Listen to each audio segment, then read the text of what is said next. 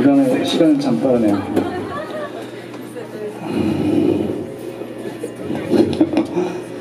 해? 이형이요? 네, 일단 유령이라는 노래를 하겠습니다.